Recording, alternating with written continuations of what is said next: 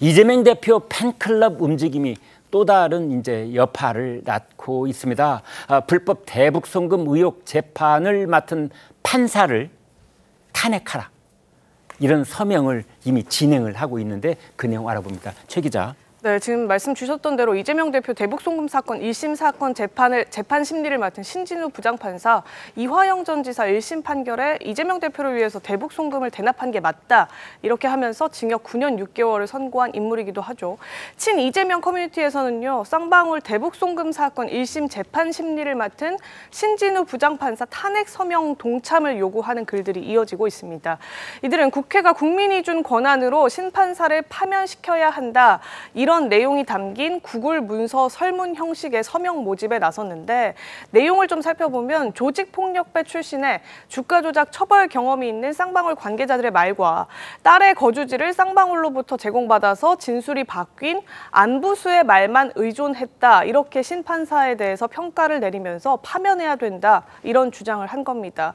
16일 오전 8시 기준으로 4만 2천 명가량이 응답을 했고 응답을 했다고 서명 추진 측이 밝혔는데 5만 명이 채워지게 되면요. 국민, 국민 동의 청원 등을 올릴 수 있어서 국회에 대한 압박도 나설 수 있는 상황입니다. 네.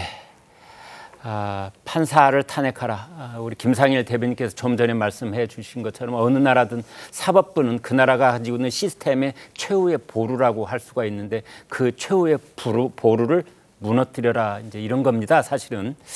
어, 지난 금요일 국회 법사위 업무 보고에서 서영교 민주당 최고위원이요 법원 행정처장을 불렀답니다. 그래서 그 수원 지법에 이제 배당이 됐는데 형사부에 이것이 자동 배당한 게 맞느냐 따져 물었다고 그래요. 그 내용 좀 살펴보겠습니다. 김병민 의원. 예. 자 저렇게 불러서 물었다는 것 자체가 사실은 상당한 압박이 될 수 있어요. 그렇죠. 이재명 대표와 함께 있는 친명 지도부의 일원들이고 네. 또 일부 법사위에 있는 사람들은 이재명 대표의 대장동 변호인이기도 했기 때문에 여러 가지 이해관계가 다 엇갈려 있을, 다 맞물려 있을 겁니다.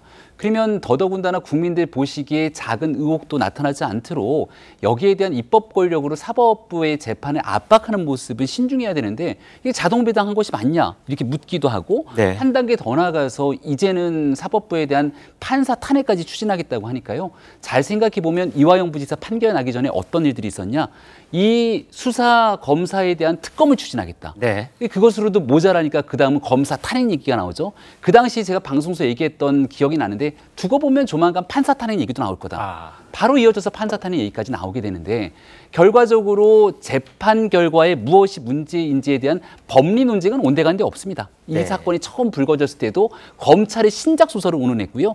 이재명 대표는 여전히 조작 검찰이라고 하는 이 검찰에 대한 수사 문제 그리고 언론의 문제를 탓하기 때문에 이 법리 논쟁으로 해결할 수 없는 상황들을 정치적으로 어떻게든 풀어내려고 어, 하고 있는 과정이라 결국 이재명 대표에 얽혀서 민주당이 이 동반 하락 몰락의 열차를 타는 것은 아닌가 심각하게 고민할 지점들이 있다고 봅니다. 네.